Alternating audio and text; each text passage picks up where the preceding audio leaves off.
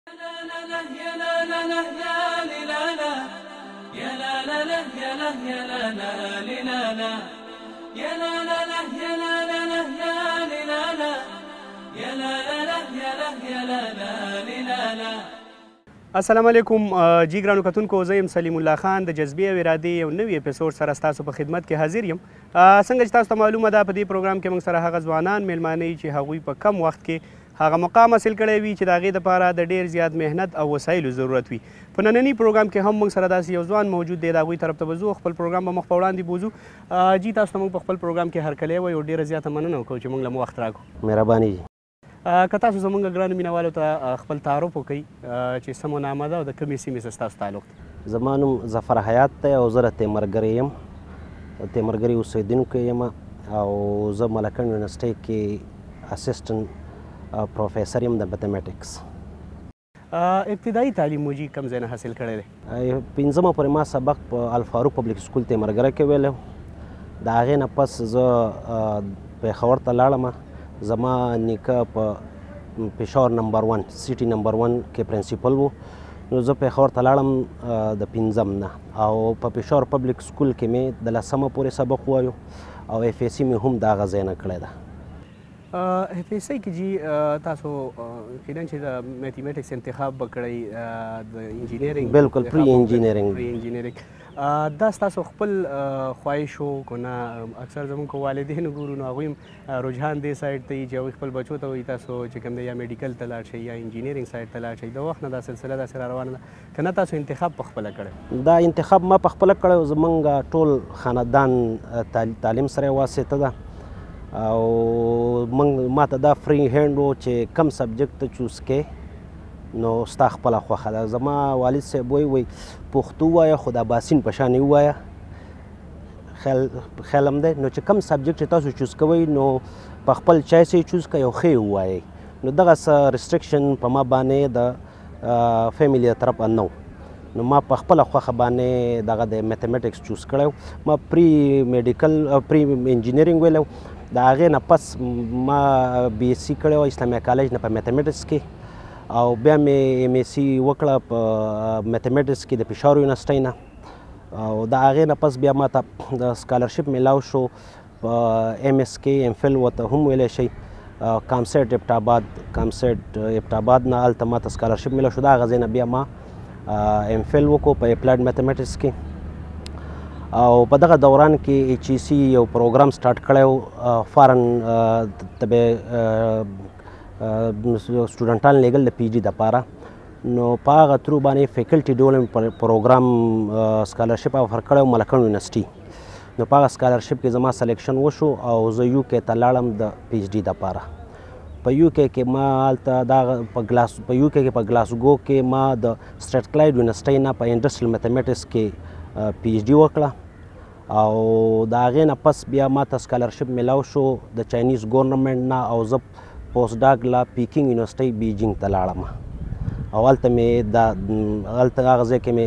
دا ریسرچ ایکسپیرینس حاصل کو بیا واپس زه ملکڼ یونیورسټۍ ته رالم او د تیر شوي څلور نیم کالونه دلته زه ټیچینګ کوم په میتھمیټکس ډپارټمنټ کې ماشاءالله ډیر زیات اچیومنټ دي تاسو دې طرف ته به هم ځو خو پوښتنه به مې دا وي چې په دې هلو ځلو کې په دې منډو ترړو کې د تعلیمي سلسله کې تاسو ته فیملی سپورټ څومره درکړی دی تراوټ فیملی زه سپورټ کړی ما او ما مین مین خبر خو فاینانشل مسلې خو الحمدلله داسې صحیح شو نه راغلی او د تراوټ ما سرکاري زګونو کې سبق ویلی دی نو الته بغیر د اف اس د دغه د پنځم نه د لسمه پورې او د اف اس ای پورې نو داسې صحیح شونه اسلامي کله چې خودم رفیس نه یالته 50 روپۍ ټیوشن فیسو هغه ماته ما په ځکه چې زما والد صاحب ټیچر دی هغه پنځوس روپۍ ټیوشن فیس هم ماته معاف و په هغه وخت کې په ایم ایس سی کې هم په پېښور یونیورسټۍ دومره فیسونه نه اوس خو فیسونه ډیر زیات شوي دي اوس خو د عام د خلکو د وس نه بر شوي دي او دی دا سرکاري یونیورسټیانې خو لکه فیسونه ډیر زیات سیوا دي بالکل چې تاسو د فیسونو ذکر وکړو اوس یقینا په هغه ټایم کې کو تاسو ګورئ چې تعلیمي سیستم هم دومره دغه نه زیات اویر نه و دا خلک تعلیم ته هم نه تلل څه چې کوم دی معاشي مسلې هم وي او اوس چونکې یو کمپټیشن هم زیات شوی دی سټوډنټان ډېر سټرګل هم کوي زمونږ چې کومه تعلیمي شرح ده په هغې کې اضافه هم کیږي په موجود وخت کې چې کوم دا به هم درنه پوښتنه کوم چې اوس په څه طریقې کار باندې اډمیشن ملاویږي د دې لپاره سټوډنټان په کومه طریقه باندې اپلای کوي دا به راته هم وایي او ستاسو په ټایم کې به چې کوم دی دا څه طریقې کار په دې سرکاري ادارو کې خو مین دغه اوپن میرټ دی کسا سټوډنټان اپلای وکي او سنو مې د میرټ جوړ شي او په نوټس بورډ وته ولګي او چې کم لکه سلويخ کسان لي یا ډیپند کوي په یونیورسيټي باندې چې څومره څومره څوک 30 32 کسان لي نو هغه په میرټ په ترو باندې کیږي دغه شان په ملکه یونیورسيټي کې کیږي ټول اوپن میرټ ته بده کې داسې سم مسلې نه ځکه چې دلته خدا د خو سرکاري زګونه دي په دې ځای کې په د اډمیشن کې څه چل ول نشي کېدی نو ټول په اوپن میرټ دی چې چا زیاتې نمبرې زیات پرسنټیج یې جوړیږي او نو هغو ته اډمیشن میلاویږي زموږ په وخت کې هم دغه شان دی اوس هم داسې دی او دا دا ښه خبره ده چې څومره زیات میرټ یي دومره به زیات ډیزرونګ کسانو ته موقع ملاویږي او د هغه په ذریعه به دغه ډیزرونګ کسان په ډیزرونګ پوسټ راځي لکه په پاکستان کې خو مین مین مسله دا ده چې که څوک خپل خپلوي دي په غړ غړ زوګونو کې نو کې دي شي چې تا تاغه پوسټ ملاو شي چې څومره اپروچ نو تا دغه پوسټ ملاو شي د دې په وجه باندې بیا هغه سړی که دغه پوزیشن لایق نه نو هغه ډپارټمنټ یا هغه اداره صحیح هغه ونه چلول شي د حکومت خرچه هم وشي او چې د څه لپاره هغه اداره جوړه د هغې نه هغه بینیفټ حاصل نه کړی شي نو دا مسلې جوړې شي خو اوس اوس خو اوپن میرټ دی اوس خو هر اوس خو د کمپیوټر د کیمرې زمانه ده یو تصویر والا د میرټ لیست نه او د ځان سه ساته او تاته او پته چې کم کس په میرټ شوی دی او کم نه دی شوی نو اوس دا مسلې نشته دی اوس خو د دې انفارمیشن ټیکنالوژي کوم غټه فائده دا ده چې دا زمونږ سره د میرټ د دې سره نور هم زیات شوی دی غپلې خو په هر ځای کې کیږي دا دغه خو نه دی خو لکه هغه هغه شان نشته دی هغه شان نشته دی اوپن میرټ دی سر زه به پوښتنه دا هم کوم ستاسو چونکې ذکر وکړو د فیملی څومره ستاسو فیملی ایجوکیټډ ده زما نیکه ایل ایل بی کړی وو ایم ای پولیټیکل ساينس یې کړی او دغه د ایجوکیشن ډایریکټر ریټایر شوی زما والد صاحب ایم ای سی کړی د په فیز کې د قائد اعظم یونیورسيټي نه او ایز ا ټیچر ایز ا پرنسپل ګور تیمرګری سکول نه ریټایر شوی دی زما بل تره حسین احمد هغه ایم ایم ایس سی کیمستري کړې ده او وس 20 ګریډ کې دی او تیمرګری سکول کې دی بل تر مې ایم ایس سی میتھمیټکس کړی دی او هغه مونجای کې سکول کې پرنسپل دی نو او دغه شان زما یو خور ایم اردو کړی ده او په تیمرګری جنکو کالج کې تر لیکچرر ده او بل خور مې ایم ایس سی کیمستري کې د پیښور یونیورسيټي نه نو زمونږ ټول خاندان د تعلیم سره زمونږ واسطه ده او مونږ ټول عمر خپل د نیکنه ټول انکرج کوي چې تاسو څومره زیات تعلیم حاصلول شي دومره به تاسو د لپاره اسانتیا سر پښتنه به دا هم کوم چونکه تاسو پرایمري تعلیم چې کوم دی هغه په تیملګره خپل ابایي علاقه کې حاصل کړی دی بیا دا غین وروسته تاسو لاړی پېښور ته بیا تاسو د ایبټ آباد ذکر مو کو انټر کم پاکستان کې چې کم تاسو کوم ادارو کې پاتې شوی څومره پورې تاسو فرق محسوس کړی په تعلیمي نظام حواله سره زما پوښتنه وی په پېښ زموږ په تیمرګره کې او پېښور په ادارو کې خو لکه فرق پکې شته لکه سلیبس خو شان یو شان دی سلیبس دی هغه شان یو شان دلته چې کوم سټوډنټ اگزام ورکوي آلموست د سیم سلیبس نه په پیښور کې هم دغه پرچی جوړیږي هلته هم دغه ایګزیم الي خو مین خبره د ټیچر د پروفیشنلیزم ده چې ټیچر څومره پروفیشنل دی هغه څومره په هغه خپل سبجیکټ باندې هغه ته کمانډ دی او هغه پکې څومره انټرسټډ دی چې هغه دغه سټوډنټ ته سبق وښي نو غټ غټ فرق پکې صرف دغه دی باقي یو شان دغه شان کلاس رومونه دلته مي ولته مي یو شان سبق دی موږ چې اکثر د ټریبل ټریبل زیریا کې موږ پروګرامونه کړي دي دا غوي چې کوم یوت ته موږ کې نه ولې دي پروګرام کې نو الته د سټوډنټس چې کوم دی هغه شر ډیره زیاته په کلاس کې د هغې د وجې نه چې کوم دی هغه ټیچر صرف د هغې هغه د خاموش کولو پورې کافي باقي چې کوم دی هغه کلاسونو هغه شان دغه نه کلاس نه اخیستلی کېږي څنګه چې پکاري نو په تیملګره کې هم دا صورتحال و که نه دلته هم بهتر و دا دی په زما په خیال ما ته خو ایکزیکټ فګر یاد نه دی خو دغه تیس نه والا د چالیس پورې کسان په کلاس کې یي نو که هغه دلته یي او که هغه په پېښور کې ان ایوریج ان ایوریج چې موږ ایوریج راوباسو نو دا زموږ سره دغه شان دومره سټوډنټان په کلاس کې یي انټرسټینګ خبره به ته وکم په چین کې په کلاس کې اتیا سو کسان د دین زیات کسان یې هلته په یو کلاس کې نو دا ډیپینډ کوي په ټیچر باندې چې څومره مهنت کوي او څومره دا سټوډنټ انګیج ګور یو یو سټوډنټ ته په یو غنټه کې سلوخ کسان ته رسیدل ډیر ګران دي خو دا دا کم ټاپک چې په هغه ورځ په هغه سپیسیفیک ورځ باندې څوک پړاوي چې هغه څومره هغه انټرسټینګ جوړوي چې د دې سلوو سلوختو کسانو ځان ته متوجه کی نو دا په د په ټیچر ډیپند کوي بل چې ډیر زیات نیوکه کیږي زمونږ چې کوم ګورنمنت ادارې دي په دې کې ټیچران چې کافي زیاتې تنخواګانې لي دغه لي خو بیا هم د هغې نه که رزلټ او دغه ته موږ وګورو چې کوم پرایویټ ادارې دي هغوی چونکه سیلري هم کمه وي بیا هم هغوی د هغوی رزلټ بهتر راځي نو دغسې هم نیوکې کېږي د دې حوالې سره به ستاسو څه موقف وي چې دا هم دقه وجه ده چې محنت نه کوي ټیچران که ناس سټوډنټ هغه شان انټرست لري کنه والدینو مسله څه وجه کې به دې کې مین مسله د والدینو تر طرفه ده دا والدین د سرکاري سکول خپل نه غني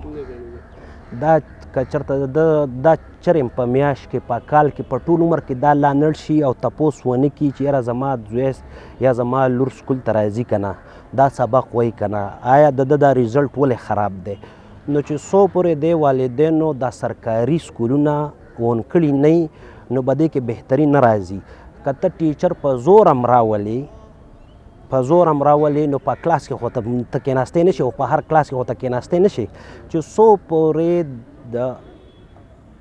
فیملی د طرف نه د پلار د طرف نه تپوس نه شوی د دغه استاد نه یا د پرنسپل نه نو دا بهتری مشکل ده حکومت خدا کولای شي چې را په دی با فنګر پرنټس ولګي را به شي هغه بل ته فنګر پرنټس ولګي خو په کلاس په کلاس کې به ته په ویډیو لګو چې دا دې چې د دې سړي سړي دا سبجیکټ پوره پړاو کړی دی کنه نو د دې ایوالویشن مختلف طریقې پاسبل دي خو د ټول نه بهترینه طریقه دا ده چې پلاران د دې سټوډنټانو د پلاران دا سرکاري سکولونه خپل وګڼي او راشي او تپوس وکړي که هره میاشت نشي دوه میاشتې پس درې میاشتې پس دغه شان داسې بار ملکونو کې سټوډنټ ټیچر میټینګ کیږي بلکې په اسلام آباد کې په سکولونو کې پېښور په سکولونو کې هم کیږي خو په سرکاري سکولونو کې دا کنسپټ نشته دی ځکه چې بس موږ وایو چې زی سکول ته بس سرکاري سکول دی او موږ دغه دی پرایویټ سکول ته نشو لیږلی نشو افورډ کولی تاسو ته پته ده چې په یو سر په سرکاري سکول کې په یو سټوډنټ باندې د دریو زر روپو نه زیاته خرچه راځي د میاشتې خیال ستاسو خیال دی د دې په مقابله په پرایویټ په سکول کې دومره خرچه په هغو راځي نه او په سرکاري سکول کې چې کوم استاد دی هغه د پرایویټ د سکول نه زیات کوالیفاید دی او دا هم زمونږ جی کمزوری ده چې مونږ د حکومت چې کومه پیسه ده دا خپل نه ګڼو که زمونږ د جیب نه ځینو هغه خو بیا مونږ ډیر چیک بیلنس هم ساتو کانټیکټ هم کو سکول ته هم ورځو خو که چرته سرکاري پیسې دا کیږي دی به کیږي به اصل کې مسله دا چې سو زمونږ دلته په سوچ کې دا مسله چې سو پر زمونږ د جیب نه ډایرک چا نه غستی کنه مونږ وته دا نه وایو چې زمونږ نه روپۍ تلی آلډي په ټیکس کې مونږ دا روپۍ ورکو په مختلف طریقو باندې ټیکسونو کې د دې سکول دا سکولونه چې چلیږي د تن د کسانو ته د استادانو ته چې تنخواګانې ملاویږي دا د حکومت سره روپۍ د کم ځای راځي خو دا دغه ټیکسونه زمونږ نه عالي ان ډایرکټ ټیکسي ټیکسي یا ډایرکټ ټیکسي نو په هغه تر باندې دوی ته دا پیمنټ زمونږ د جیب نه جیب بالکل ډایرکټ زمونږ خو ډایرکټ زمونږ ته دا نه ښکاري چې زمانه دا روپۍ لاړې او یقین لرئ که دا سرکاري سکولونه ښه شو نو د ایجوکیشن نظام به ډیر بهتره شي دا پرایویټ سکولونه زیات تر زیات تر دا خو د بزنس لپاره جوړ شوي دي زما په پرسنل ایکسپیرینس کې زه ته چې دا د بزنس نه علاوه د دیو لکه بزنس نه علاوه ماته بل څه مقصد ښکاري نه بل موږ چې دا وګورو چې کم زمونږ غریبان دغه دي کمزوري فیملیز دي دوی د سټوډنټان ډېر زیات قابل مي خو دوی ته هغه شان موقع چې کوم دی هغه نه پرووایډ کیږي نو دا بالکل په دوی باندې چې تکار وکړلی شي په دې کې زمونږ چې کوم دی والدین شو ټیچرز شو او دا موږ لکه سیریس والو او دغه ګورنمنټ سکولونه موږ داسې آباد کړو لکه څنګه چې پرایویټ ادارې دي نو زما په خیال ډېر بهتري راتلی شي زمونږ د تعلیمي د مسلو حل د ګورنمنټ سکول نه دی که ګورنمنټ سکول کې حالات صحیح شو اپډیټډ سلیبس فالو شو او ټیچران صحیح ټرین شو او پلارانو په د دې سټوډنټانو پلارانو په کې خپل انټرست وښوو نو دا تعلیمي نظام به ډیر بهتر شي د دې څه شارټ کټ طریقه نشته دی سر بل پښتنه به دا کوم تاسو چون کې د پاکستان نه بهر عام تلی تعلیم هم حاصل کړی دی د هغه تعلیمي دغه تاسو ذکر ووم کو د چینا چې هلته سټوډنټ ډیر زیاتی بیا ولې هغوی ډیر تعلیمي دغه چې کوم دی نظام او سیستم ډیر بهتر دی زموږ د پاکستان نه څه څه کمیانې دي دلته ما ما څنګه تاسو ته خبره وکړه کنه چې مین خبره لکه په سرکاري سکولونو کې موږ خو چې پرایویټ سکول ته سټوډنټ ولېږو که نه نو موږ وایو پر ما فیس ورکړی دی او دغه دغه پرایویټ سکول یې ذمهوار دی او باقي هر څه به دا پرایویټ سکول کوي په سرکاري سرکاري سکول ته موږ هلته لېږلو ځکه لېږو چې موږ زموږ سره روپۍ نشته دی او بس سرکاري سکول ته به ځو سیاست یې جوړ شو که جوړ تې نه شو په چین کې هم پرایویټ سکولونه شته خو لکه تناسب ډیر کم دی خل خلک میجارټي خلال ته خو ډیره زیاته آبادی د سرکاري سکول ته ځي سار وختي سټوډنټ مور د لاس ماشومان نیولي په خپل لاس بوزي الته سکول ته راسي بیا ریزلټ چې راشي بیا سنومه ده د ریزلټ ډیسکس کولو لپاره د ټیچر سره ملاویږي په میاش کې دغه میټینګ کیږي سټوډنټ ټیچر میټینګ کیږي ډیسکشن کوي د وړوکوال لینا هغه د هغه ماشوم اسسمنټ کوي چې یاره دا د دې ماشوم په سکه انټرست او ست کم طرف ته تلل غواړي دلته خو بس یو سلی بس ته هغه فالو کول دي لاول پرایورټي دا ده چې ډاکټر دی جوړ شي که ډاکټر نشي بیا دی انجینیر شي او بس بیا باقی چې ستې جوړ شو نو من خبره دا ده چې هر سبجیکټ ته هر سبجیکټ له خپل ویلیو ورکړی شي هر یو سبجیکټ د لکه سبجیکټ کمپیریزن داسې نه کیږي چیرې دا ښه دی او که دا خراب دی دلته خو سره موږ دا ګورو چې په کم نه به ما ته زر جاب ملاو شو دا کم نه به زیاتې زر روپۍ وګټم نو باقي صرف ډاکټران دي ټول او نور قصې ورانې دي ان شاء الله دا تاسو چې کوم د چاينا تعليمي دغه ذکر وکړو چې ميټينګونه کيږي هرڅه په دې باندې بحث کوو د دې نه علاوه تاسو نور کوم ملکونو ته تللي په دې باندې هم خبرې اترې کوو یو وړه شان دمه به اخلو دمې وروسته بیا راځو جی ګرانو کتونکو اخلو یو وړه شانتې دمه او د دمې وروسته بیا ستاسو په خدمت کې حاضرېږو موږ سره اوسئ يا لا لا لا يا لا يا لا لا لا لا جی ګران کتونکو له دمي وروسته یو ځل بیا ستاسو په خدمت کې حاضر یم او زموږ پروګرام به موږ په مخ په وړاندې بوزو د خپل میلمه طرف ته ځو جی ما پوښتنه ستاسو نه دا کړې وه چې کم تاسو د چینا نه علاوه د دغه ځای تاسو ذکر وکړو چې کوم هلته میټینګ کیږي او ټیچران او سټوډنټس کینی څومره پورې چې کوم د پیرنټس دغه کې هغوی انوایټ کوي یا د هغوی سره هغوی هغه رابطې چې کوم دی قایمې وي په دې باندې هم ذکر کوو د دې نه علاوه چې کوم تاسو نور فارن کې په کوم ځای کې تاسو خپل ایجوکیشن جاري ساتلی؟ څنګه جي ما تاسو ته ویل ما پي ايچ ډي د ګلاسګو سکاټلند نه کړې ده هلته هم مین خبره دا ده پروفیشنلیزم پکار دی که هغه استاد دی هغه ته هغه پروفیشنل پکار دی که هغه پروفیسر دی که هغه په هر اداره کې دی هغه ته هغه پروفیشنل پکار دی او ویل ټرینډ پکار دی د هغه پوزیشن دپاره چې په کم پوزیشن باندې به دا یا دا دی او وسره وسره د مین مین خبره دا ده چې ته څه انویسټمنټ کې چې د خپل انویسټمنټ تپوس خو وکې کنه نو په سرکاري ادارو کې زمونږه نه ټیچر کې دی شي پروفیشنلی خو مونږه وس مونږه مونږه ته دا نه مونږ ته دغه پروفیشنلیزم نه غواړو مونږ لاړ شو مونږ وته یار زما زوی فیل شوی دی تپاس کا مونږ ورته چرې هم دا ونه ویل چې یاره زما زوی ته تا صحیح سبق نه دی ښولی زما زوی ته یاره ته صحیح سبق وښایه دلته به دې ملکڼ یونیورسټۍ کې سټوډنټان مین انټرس صحیح زما جی پی ای خرابېږي ما له نمبر یې راکړه زما جی پی ای کمه ده زما ټوله ورځ زمونږ دقه یو خبره اورو جی پی ای مې کمه ده او جی پی ای مې زیاته ده په تېر شوي څلور نیم کا څلور نیم کال کې دلته ما ټي چینګو کو چې څومره سټوډنټانو سره زما ملاقات شوی به دې کې به دوه درې پرسنټه داسې نه چې دوی ما ته ویلي چې مله دا دا ټاپک نه راځي دا کوېشچن څنګه دی زیات تر انټریکشنز دا دی سر زما جی پی ای کمه ده زما جی پی ای خرابه ده چې ستا مین مقصد نمبر اغستل دي نو لکه سبق به ته څنګه زده کې دغه دغه د صرف ډیګري غوښتل خو نه دي لکه دلته د خلک کوی کنه ویره دومره کسانو سره دومره ډیګرانو ولې دی جوابونه نشته دی آیا ستاسو ډیګري د ته کوالیفاید یې ستاسو هغه سکیل شته چې کوم دغه ډیګري ریکوایرمنټ دی که صرف ډیګري د اغسته ده نو دا اصل کې دا داسې پرابلم نه دی چې دا غي یو سایډډ سولوشن وي دا ډېر کمپلیکس پرابلم دی د دې څه د ګورنمنت د طرفه څه د مور او پلار د طرفه څه د دغه انسټیټیوټ د طرفه د سټوډنټانو طرفه دا د کلیکټیو ایفرټس پر راځي اله به دا مسله حل کیږي دا خو زور به په د چې چا انویسټمنټ کړی دی د هغو د طرفه پکار دی چې هغه تپوس وکړی شي چې هغه راشي آیا تپوس وکړی شي چې آیا زما څه نومې دی دا زوی یونیورسټۍ ته راغلی دی که نه دی راغلی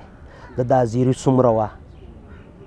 چې کله د بي اس نه فارغ شي ایم اس شي نو بیا هغه میچور شي نو بیا به هغه په خپله کوي خو د بي اس په لیول خو په کار دا ده چې مور او پلار یې تپوس وکړي چې یاره زما دا زوی ځي کلاس ته ځي اټنډنس یې شته که نشته دی هسې نه چې ته د ته د یونیورسټۍ په نوم راولېږې یا ته د سکول په نوم راولېږې او بل ځای کې ګرځي نو چې چا انویسټمنټ کړی دی هغه ته پکار ده چې د خپل انویسټمنټ تپوس وکړي چې هغه تپوس نه کوي نو لکه او ټیچر ته خو تنخوا ملاویږي داغه داغه ته هغه ته صرف اثر به دې پریوزي چې کله د ایچ ای سی د طرفه یا د ګورنمنت طرفه ایوالویشن کیږي نو هغه ایوالویشن به خدای خبر په صحیح طریقه کیږي یا نه کیږي نو مین مین انټرست خو پکار دا دی چې د پیرنټس د طرف مین زور د پیرنټس د طرف په کار دی چې هغه د خپل ماشومان ته پوسو وکي که هغه وایي چې یاره یونیورسټي ته ځي او ټیچران به خپل د کاغو به خپل جاب کوي او دا به خپل جاب کوي هغه چې ته پوسو کې نو الریډي هغه سټوډنټ چې کم دی هغه ته هم پته ولګي چې یاره ما په خو چیک بیلانس شته هغه هم رجحان هغه شانی ټیچر به محسوس کی چې یاره دوی والدین خو پښتنه کوي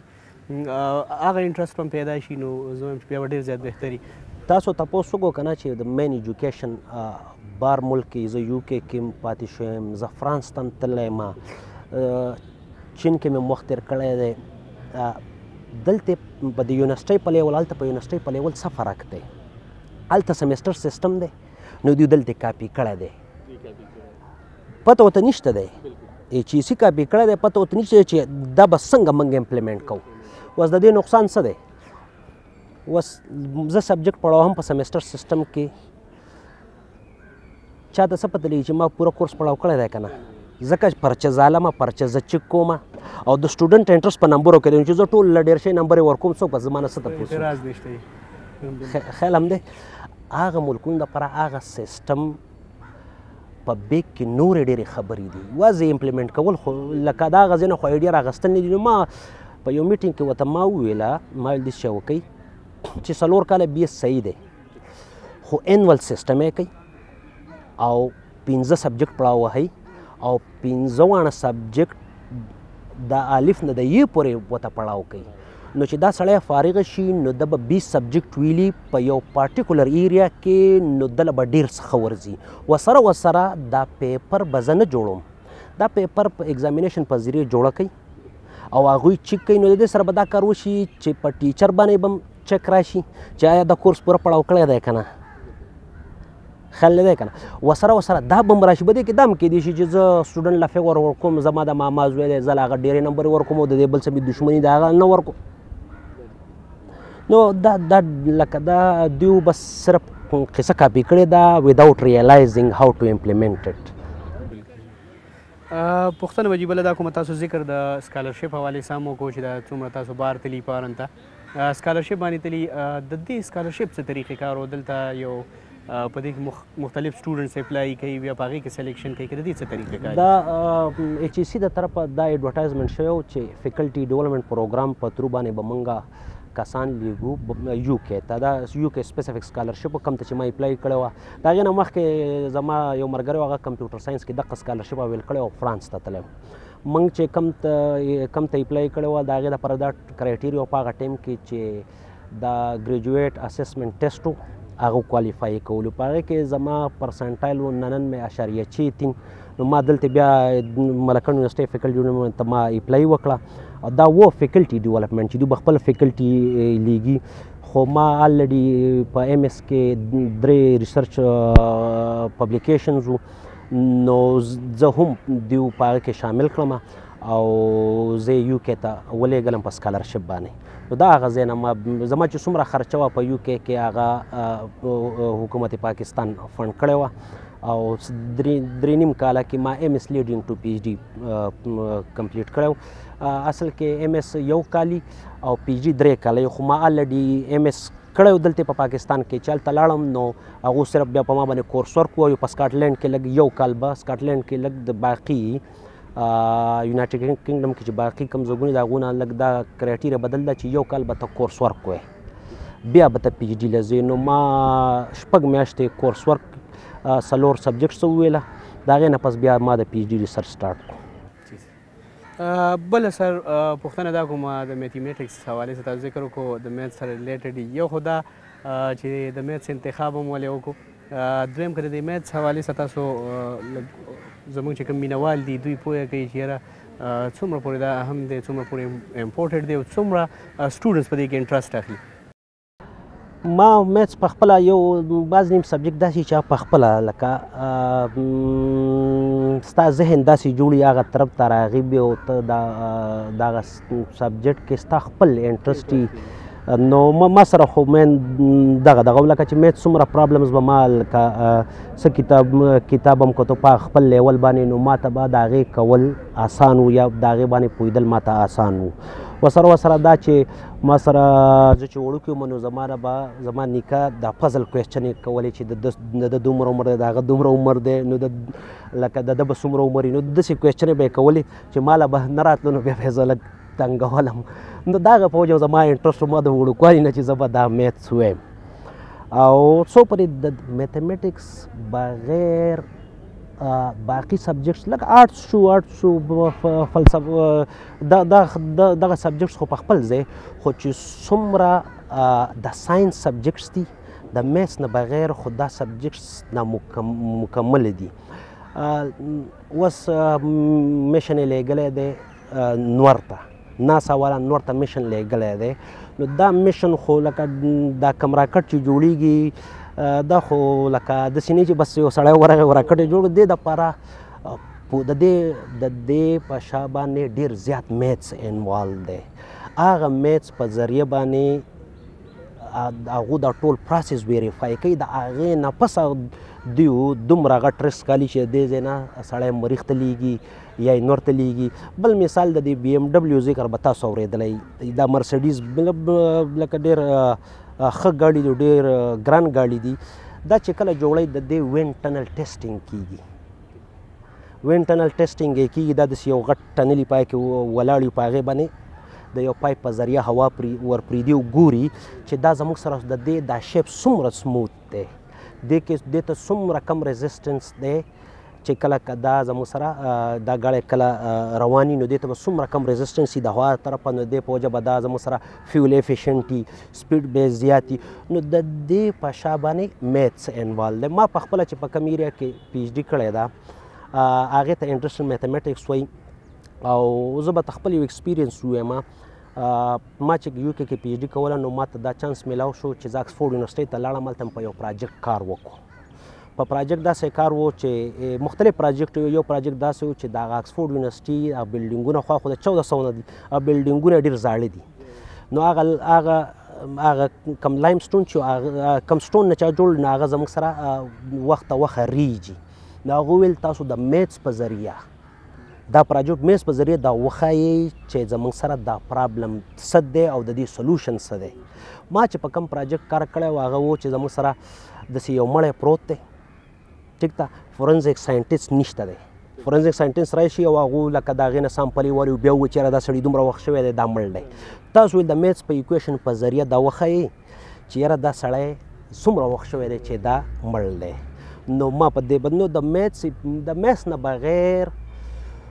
خو دا دا ټول نظام نه چلیږي خو دی الله یې چلوي خو لکه د دې دا سټرکچرنګ یې داسې کړی چې په دې په هر څه کې میتھمیټکس انوالو دی تاسو د دې سټوډنټانو د پاکستان کې د ایجوکیشن د مسلې خبره وکړه زه سیچوان یونیورسټۍ ته په ویزټینګ تللی وم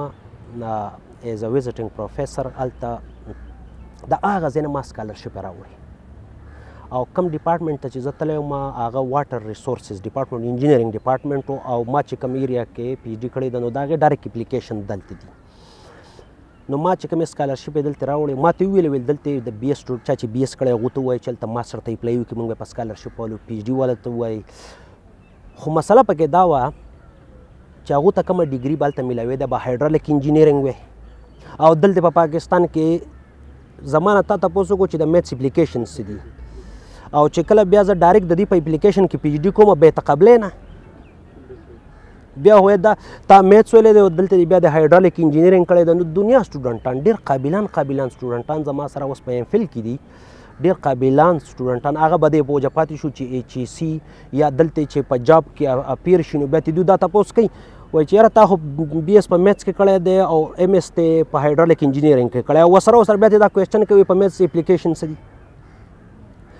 نو دلته څه ډېر عجیبه عجیبه مسلې دي او دغه شان بل سټوډنټ هغه ته پی ایچ ډي سکالرشپ میلاو شو او په وته ویل چې تا ته به ډیګري په هایډرالک کې دا نه ریالایز کوي چې دا د مې سټوډنټ دی او هغه ول سکالرشپ ورکوي په لکونو روپۍ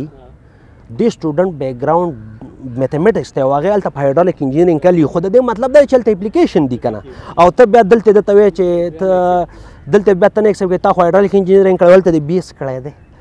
نو دا ډېر کمپلیکیټډ دلته عجیب عجیب مسلې دي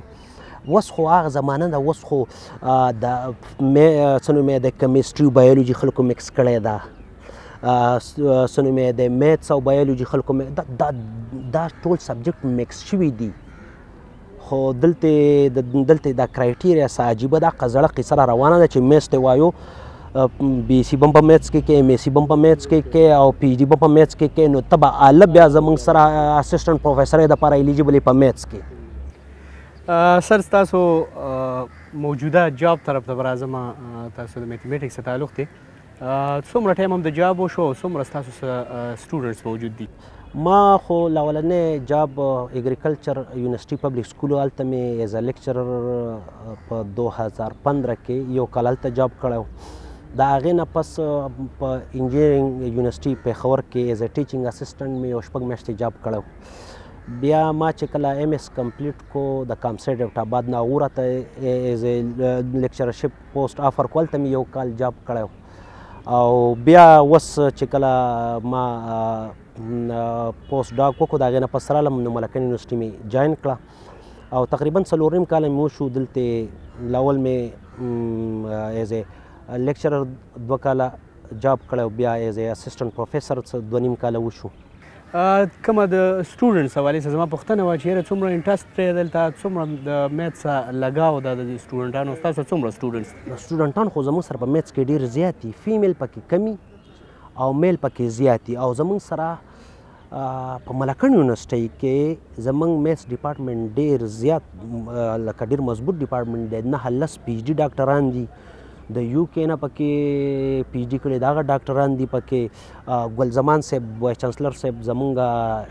چیرمن پاتې شوی او دوی په خپل د کور یې نه پی ایچ ډي کړې ده د دې نه مخکې زمونږ سره د په دې رحمت علي صاحب اوس وایس چانسلر دی په بره شیرینګل یونیورسټۍ کې زمونږ سره ډیر خخ دلته دغه دي دا ټیچران جو ډیر زبردست ډپارټمنټ دی سټوډنټان ډیر زیات سټوډنټان اپلای کوي ډیر تقریبا یاره وس وس چې د کم د ایم ای سی ایډمیشن وشو تقریبا دوه نیم سو کسو کسانو اپلای کړی و او زموږ سره دومره ځای نه موږ تقریبا دغه ډیر میکسیمم چې لاړ شو نو 40 کسان الو ځکه چې په کلاس کې خو 40 کسان مینج کول هم ډیر ګران کار دی 40 کسان منګالو په بی اس کې هم زموږ سره دغه شان تقریبا لکه ته دا چالیس پورې کسان دي او پی ایچ ډي سټوډنټان زموږ سره ډیر زیات دي په ایم ایس سی کې زموږ سره ډیر ډیر زیات سټوډنټان دي نو زموږ ډپارټمنټ د ملکڼ یونیورسټۍ خو ډیر ټاپ ډپارټمنټ دی په ریسرچ په لحاظ سره د تیر شوي درې کالو نه پاکستان کونسل فار ساينس اینډ ټیکنالوژي ریسرچ پروډکټیویټي ایوارډ ما اغستی دی د ملکڼ یونیورسټۍ ډپارټمنټ د طرفه او وس د تیر شوی ورځو کې پاکستان اکیډمي اف ساينسز ماته ایوارډ راکړی دی ګولډ میډل راکړی دی ډاکټر شاه جهان پرایز دا غ ریسرچ د پاره چې کم د 40 سال نه کم دي زموږ میس ډپارټمنټ زما په خیال خو په کې پی کې لکه ښه ډپارټمنټ دی ښه بهترین ډپارټمنټ دی د میتھمیټکس ډپارټمنټ که تاسو زمونږ د ټیچ زمونږ د دې پروفیسورانو پروفایل وګورئ ګل زمان صاحب په خپل ډیر ښه پبلیکیشن دی انټرنیشنل پبلیکیشن دی سرور صاحب دی کمال شاه صاحب دی زمونږ سره امان الله صاحب دی ټول نمونه راته یاد نه دي اسنه چې څوک نه خپه نشي خو چې کوم یوسف صاحب دی نو دا ټول خه په ریسرچ کې خه ټیک ټاک انوالو دي او امیرعلی صاحب دی په خ... وس ریسنټلی امیرعلی صاحب راته ذکر آیات شو وس ریسنټلی دا هغه په فزکس لیټر ای ټاپ جرنل دی په هغه کې داغه د پی ایچ ډي سټوډنټ مقاله پبلش شوه ډیر ټاپ انټرنیشنل جرنل دی په اخیره کې زموږ چې کوم ګران کتونکي دي تاسو ډېر زیات اچیومنټ کړی دي په هغې باندې زموږ تفصیلي خبرې وشوې خو چونکې ټایم زموږ سره ډېر کم وي نو ټایم زموږ سره ته رسېدلی دی په اخیره کې که تاسو زموږ مینوالو ته څه پیغام ورکوئ زما ورته دا پیغام دی چې دا سرکاري یونیورسټي ستاسو یونیورسټي دا خپله یونیورسټي وګڼئ او په تعلیم کې انټرست شو کوي دا نه چې ما ته به جاب ملاو شي د پوهې د پاره وې زه به دې سبجیکټ ځان پوه کوم جاب خو بل لري ابویسلی تا ته ملاویږي لکه مونږه